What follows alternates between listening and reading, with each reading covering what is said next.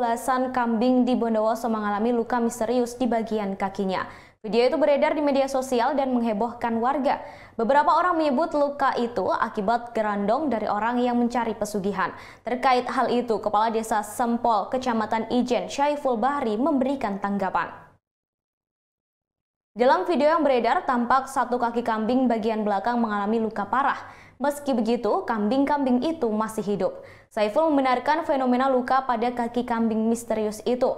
Menurutnya, lokasi kejadian tepatnya di Dusun Sempol 2 dan terjadi sebanyak dua kali, yakni Jumat 29 Januari 2021 dan Selasa 2 Februari 2021.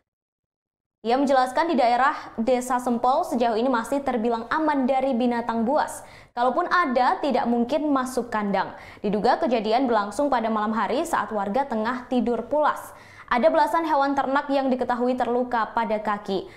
Penyebabnya hingga kini masih menjadi teka-teki. Ia mengatakan ada beberapa ternak yang mati karena kehabisan darah. Hingga kini Syaiful juga belum bisa memastikan apakah itu akibat binatang buas atau pesugihan. Tetapi ia meminta warga desa Sempol untuk tetap tenang.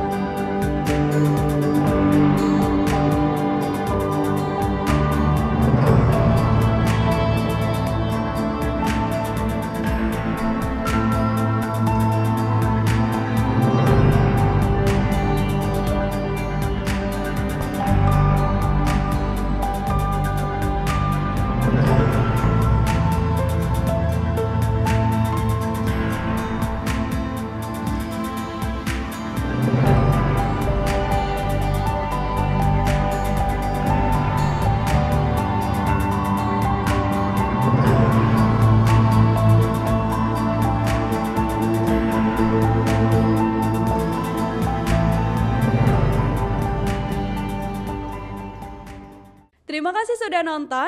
Jangan lupa like, subscribe, dan share ya.